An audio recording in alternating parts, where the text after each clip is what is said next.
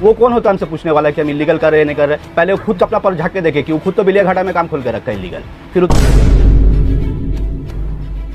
तो पाँच आदमी अगर मीट मेरे को मारेगा, मैं तो बात करने के लायक ही नहीं रहूँगा। इससे आप लोग समझ में आना चाहिए कितना बड़ा वो झूठा इंसान है।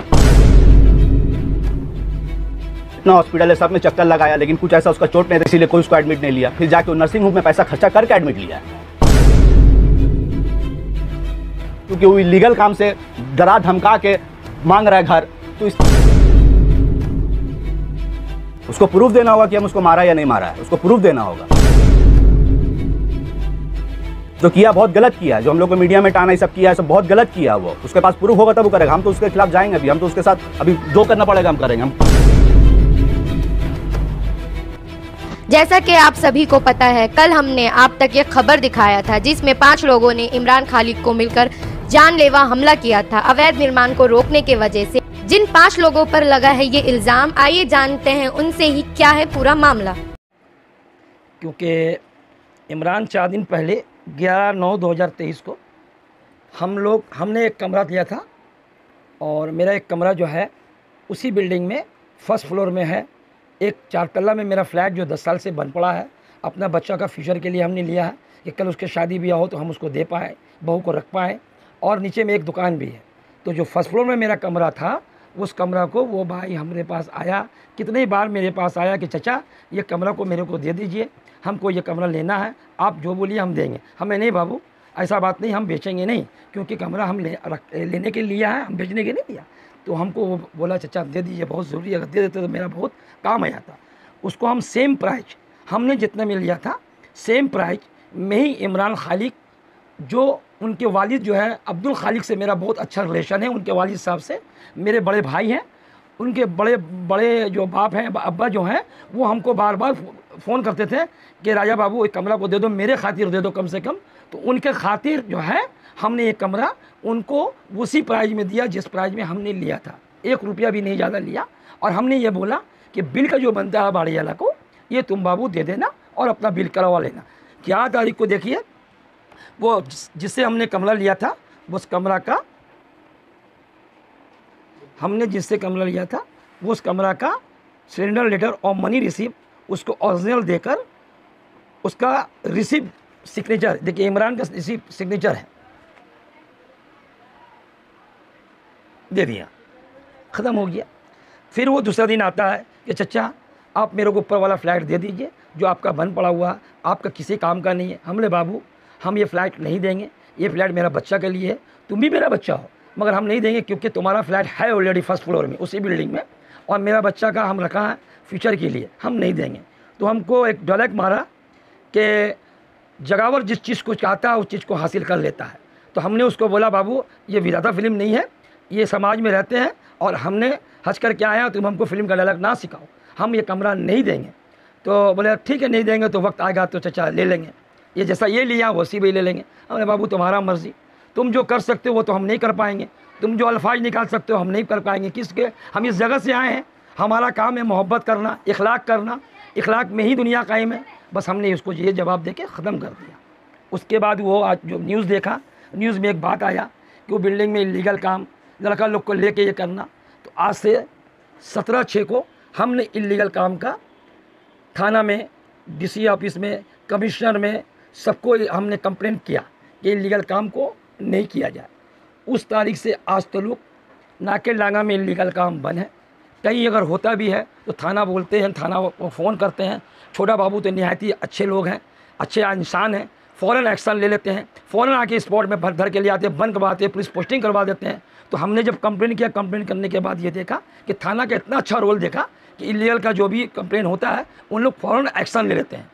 तो भाई हम थाना का, वो बोल रहा, थाना इलीगल बिल्डिंग बन रहा है। वो एक बात बोला, छोटा बाबू पैसा लेते हैं। तो भाई छोटा बाबू पैसा लेते हैं तो क्या उसके सामने लेते हैं ये सब बात बोला? कि उनके सामने पेमेंट लेते हैं? ये गलत बात बोलना। फिर एक बात बोला वो, कि भैया गैर कौम हँसते हैं। तो गैर कौम आज ममता बनर्जी हम लोग का इस बंगाल पे इतना अच्छा रोल किए हैं कि कोई फ़िल्म आई नहीं दिए हैं। हिंदू, मुस्लिम सब भाई हम लोग मिल के रहते हैं और इन मिल के रहेंगे। सब भाई भाई हैं। वो क्या क्या है? कि गैर कौम हंसेगा। क्यों भाई? क्यों मज़ा लेगा भाई? गैर कौम को? तुम गैर कौम को बदनाम करके फीलिंग पैदा कर रहे हो। तो भाई इस ऐसा ना करो। इससे क्या होगा? हम लोग का मुआज बगल में हिंदू भी भाई रहते हैं, उसका भी मोदी दुकान है। बाहर बगल में हिंदू भाई कारोबार भी करते हैं इस मोहल्ले में। हिंदू भाई का भी मिला जुला हम लोग संगठन लेके चलते हैं। कभी आपस में कोई इखलाक ख़राब नहीं हुआ तो ये बात से क्या फीलिंग होगा? तुम इखलाक को ख़राब करने चाह रहे हो। बस बोल के अपना बात को हम उस जगह नहीं हैं। तो हम कैसे बताएँगे? जिन लोग थे वहाँ पर, जिन जिनका सामने हुआ या जिनके सामने जिनको लगा है शकील साहब, वो सब बताएँगे। जिस जगह हम नहीं है तो कैसे बता पाएँगे? हमने उसको कमरा नहीं दिया, चतल्ला का फ्लैट। एक फ़र्स्ट फ्लोर का दे दिया। अब चतल्ला में जा रहा लेने के लिए। और चतल्ला का फ्लैट मिल जाता तो शायद नाम नहीं लेता। ये तो हम जो कहेंगे, बोल, बोलने का मतलब है वो हमको मारा। हम उस बिल्डिंग में दो टाइम पानी चलाते हैं। और इलेक्ट्रीशियन का पूरा बल्ब मोटर, कुछ भी ख़राब होता है, बाड़ी वाला हमको ज़िम्मेदारी दे के रखता है। उस दिन इत्तेफाक से पानी देने में लेट हो गई। उस दिन इत्तेफाक से पानी देने में लेट हो गई तो हमको उसके बीबी ने, उसके बीबी हमको बोले कि हम जब मोटर चालू करने गए तो वो फ़र्स्ट फ्लोर में रहता है। तो उसका बीवी बोले, हरामी का बच्चा अभी तक पानी नहीं दिया। तो हम उनको भी, उसके बीवी बोले, आप ऐसा क्यों बोले? आप हमको हरामी क्यों बोले? बस यही बोलना जो इमरान हमरा पर चार्ज कर दिया। समझे? आप ये तो हम उसके ऊपर मानहानि का दावा करेंगे। वो हमको प्रूफ दे कि हम चोरी का इलेक्ट्रिक चलाते हैं। आज मेरे घर में भी इलेक्ट्रिक चलता है, पूरा बिल है प्रूफ है। हर महीना का बिल मेरे पास है। अगर हम इलेक्ट्रिक चलाते तो हमको, हमारे घर में बिल नहीं आता। तो बोलने का मतलब यही है कि हमको वो, पहले वो चार्ज किया। तो हमसे उससे धक्का धुक्की हुआ। वो, उसके बाद नीचू उतरा। अब नीचू उतरने में हो सकता है वो गिर गया हो या कुछ भी। हमको ये नहीं मालूम। उसके बाद हम ऊपर ही में हमको ये सब भाई लोग जो है धर के लेके आए।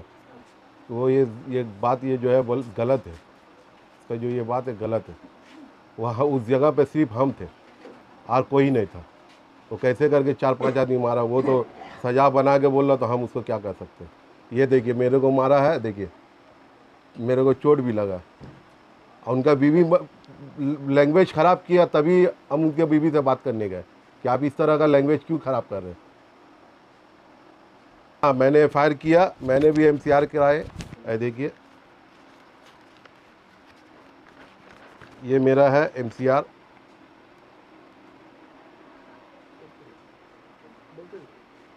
उसके बाद मेरा ये एफ़ कॉपी है।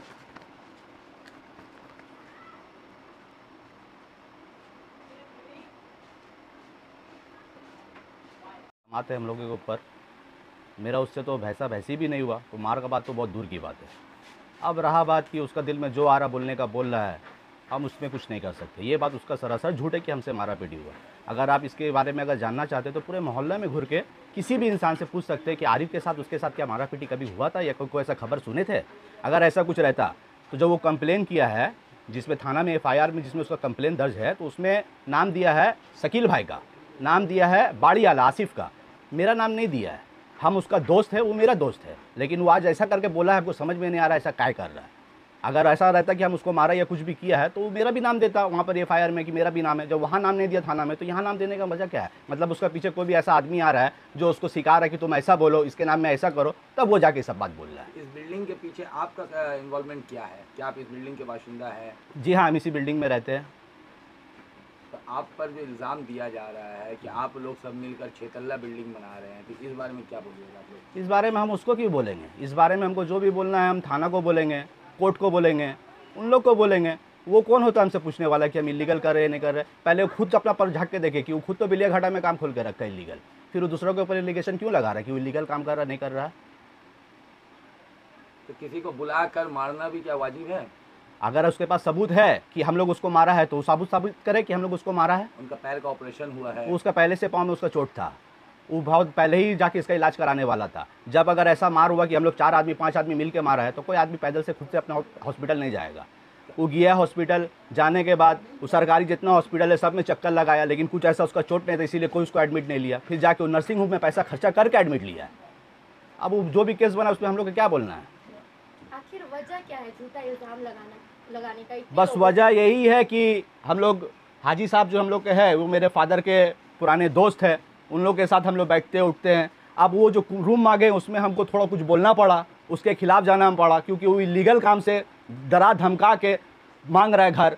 तो इसके लिए कि हम लोगों को कुछ बोलना पड़ा तो अब हम उसको लिए कुछ बोला है इस अगेंस्ट में तो वो मेरा अगेंस्ट हो गया। और कोई मतलब नहीं है।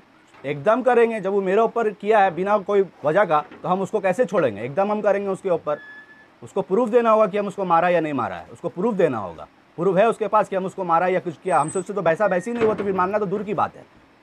वो जो किया बहुत गलत किया है। जो हम लोग को मीडिया में टाना ये सब किया है सब बहुत गलत किया है वो। उसके पास प्रूफ होगा तब वो करेगा। हम तो उसके खिलाफ जाएँगे अभी। हम तो उसके साथ अभी जो करना पड़ेगा हम करेंगे। हम केस करेंगे सब कुछ करेंगे उसको प्रूफ देना पड़ेगा ये सब चीज़ के बारे में। तो अब उसके बारे में हम उसको कुछ बोलेंगे नहीं। हम उसको क्यों बोलने जाएँ? क्या हम इसके बाद हम कोर्ट को बोलेंगे इसके बाद हम थाना को बोलेंगे? वो होता कौन हमसे पूछने वाला? वो खुद कर रहा है इलीगल प्रोमोटिंग बेलिया घाटा में वो क्या हमसे पूछेगा? क्या कर रहा नहीं कर रहा उसके बारे में और भी है बहुत बिल्डिंग बिल्डिंग बनाते हैं। जी हाँ प्रूफ है मेरे पास। और हम आपको ये भी बता रहे हैं कि उसके पास और भी और भी बहुत सारा काम है जो हम आपको अभी नहीं बताना चाहते। प्रूफ आएगा हम आपको ज़रूर बताएँगे उसके बारे में क्या क्या चीज़ है क्या क्या नहीं है। हम सब बताएँगे आपको। उसके बारे में और भी एक एलिगेशन बहुत, जो बहुत बड़ा एलिगेशन है, वो हम आपको प्रूफ करके दिखाएँगे। दस दिन के अंदर हम आपको प्रूफ करके दिखाएँगे। कि अगर हम किसी इंसान को मारेंगे तो वो हमसे मुखासिब करेगा कहीं खड़ा होकर सामने, मेरे सामने होकर के? इस वीडियो में आप देखिए। यहाँ वीडियो देख सकते हैं आप लोग।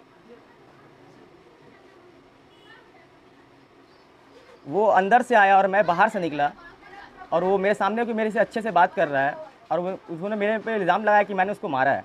तो यहाँ पे कहीं भी प्रूफ होता है कि मैंने उसको मारा है? तो उनके पैर में चोट कैसी आई? ये तो ये पैर में चोट आज से नहीं बहुत बहुत दिन पहले से ही उसके पैर में चोट पहले का चोट है उसका अभी का चोट ये नहीं है। वो आज दिखा रहा है उसको मतलब केस बनाने के लिए वो दिखा रहा है इस चीज़ को लेकिन ऐसा कुछ है नहीं जबकि। ये जो सीसीटीवी फुटेज आप दिखा रहे हैं। ये सीसीटीवी फुटेज कब का है? ये सी टी फुटेज चौदह तारीख का तीन बज के सत्ताईस मिनट का है।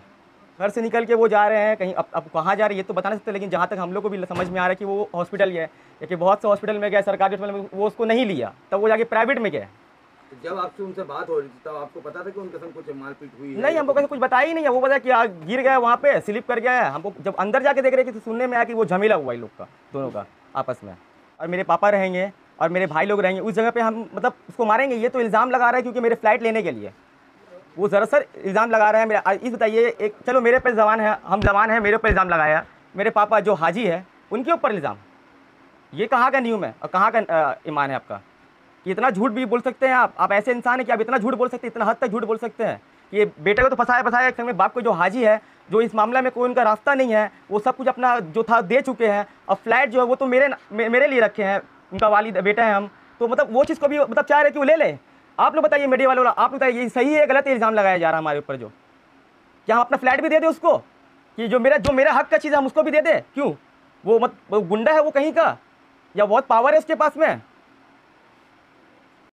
अच्छा एक बात बताइए, अगर मेरे को दो आदमी मिल के मारेगा तो मैं बात करने के थोड़ा सा वर्ड में रहूँगा। अगर मुझे पाँच छः आदमी मिल के अगर मारेगा तो मैं कैसे बात करूँगा?